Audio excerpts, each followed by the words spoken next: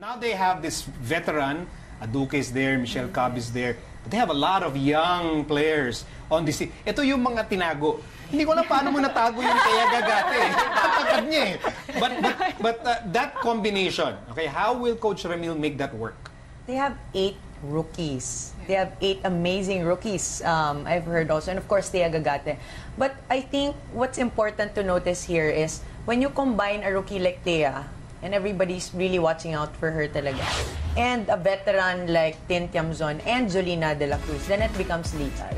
And if you're under the championship degree system, pedigree system of Coach Ramil, then it becomes even more dangerous. So para sa akin, yung combination ng rookie and of, at the same time, rookie kasi, so they weren't there during the loss last year. They weren't there to experience the pain of not being in the championship. What they want to do now is prove themselves. So that alongside, let's say, Julina and Alba and Michelle Cobb, and of course, um, Tin, yung yung want nila to prove something or yung loss from that from that uh, last year na medyo painful, yun yung i-divert nila into something positive this year. That combination is gonna be amazing. At pinag-uusapan natin kanina also how Coach Ramil will basically not only form them physically but to be able to bring back their confidence sa loob ng court.